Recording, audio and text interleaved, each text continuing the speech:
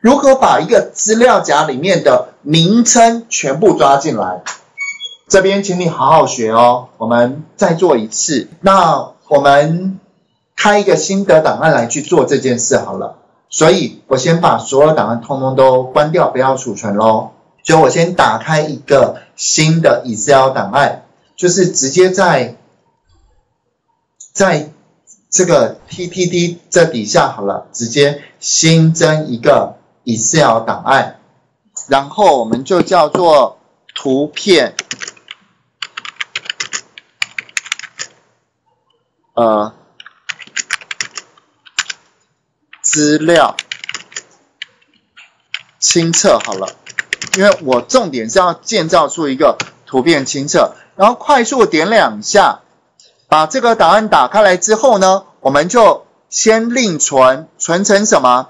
存成这个含聚集的活页簿。接下来重点来喽，我们是不是要先把刚刚那个 TTT 这个资料夹这个？T T T 这个资料夹，我先把路径复制起来。路径复制起来，怎么复制路径？这边点一下，然后 Ctrl 加 C，这样就复制好这个路径。然后接下来我们到这里面呢，公式底下可以去做定义名称，我自己去选择一个函式的名称，这个名称就是函式。例如说，我就叫做 file name，就是我要去把整个资料啊抓进来，我就取一个，也许你可以叫做 get file name，get 取得档案名称，取得档名。好，例如说，我前面我再加一个 get 好了，get file name，然后接下来，请问我的路径呢？路径在哪里？我是不是要先告诉他说，我现在要做这件事情，我要取得档案，取得档案的一个函式就是 files。我不是取一个档案哦，我是取很多个档案，所以这边等于 file 有加一个 s，大小写都可以。左刮弧路径嘛，刚刚我们是不是贴了一个路径贴上？记得。再加一条斜线，新点 JPG，我可以限制里面我只抓 JPG。请问我假设里面所有的档案都要抓进来，那就是新点新。那因为我现在只抓图片，然后再加两撇，因为这个在 Files 里面是一个变数，就好像那个 Sheets。工作表的名称是不是？例如说，假设叫 list 这张工作表，你是不是前面、后面都加两撇？好，然后接下来又刮胡，可以吗？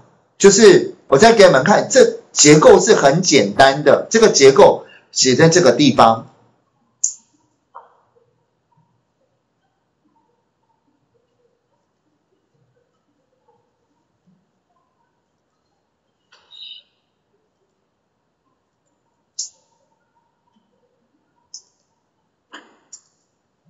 这个结构呢，就是等于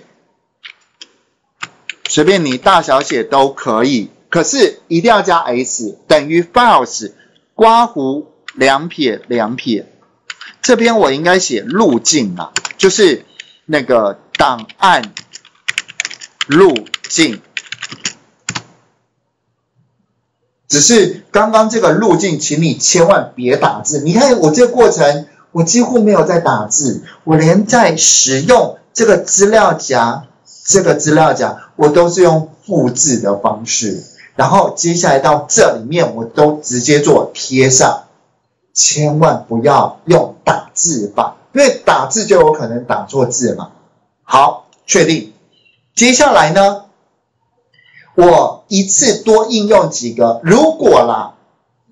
如果我们今天档案有一千格，你就选一千格；如果你有一千个档案，我就选一千格；如果你有十个档案，你就选十个。你可不可以多选几个？像我现在只有三个档案，对不对？我是不是可以多选几个？好，例如说多选几个，接下来我就应用，会不会应用函数？请问会不会做那个函数的一个使用？像加总函数是不是等于 sum sum 一样的做法？等于，只是我现在要输入的是 get，有印象哦？刚刚我是不是定义那个名称 get file，然后 name？这个时候其实你打 get，因为 get file name 是我自己命名的，所以我应该很清楚，我就直接按一下 Tab 键就好了。接下来我要阵列应用，阵列整个这个阵列这边有一格、两格、三格、四格、五格、六格、七格。以前我一格的应用在 Enter 嘛，现在是阵列应用，所以是 Ctrl Shift Enter，这样就应用出来了。然后记得在这个地方是不是有三个我要的档案？我就直接复制，然后选择性贴上，请做选择性贴上，因为我们照清册一定是照，就是说一列这样子一个呈现，所以我们就输入值跟什么转至确定，这样子我们是不是就有这三个档案？名称，我重点就是要这个完完整整的档案名称。